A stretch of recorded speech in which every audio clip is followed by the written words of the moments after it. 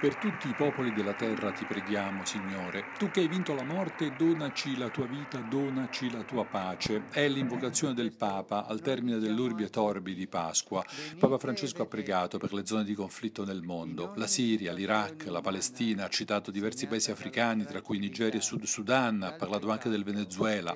Aiutaci, ha detto, aiutaci a cercarti affinché tutti possiamo incontrarti, sapere che abbiamo un Padre e non ci sentiamo orfani, che possiamo amarti, Signore, e adorarti. Aiutaci a sconfiggere la piaga della fame aggravata dai conflitti e dagli immensi sprechi di cui spesso siamo complici. Rendici capaci di proteggere gli indifesi, soprattutto i bambini, le donne e gli anziani, a volte fatti oggetto di sfruttamento e di abbandono.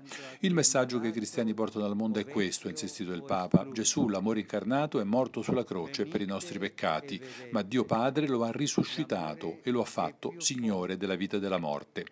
In Gesù l'amore ha vinto sull'odio, la misericordia sul peccato, il bene sul male, la verità sulla menzogna, la vita sulla morte.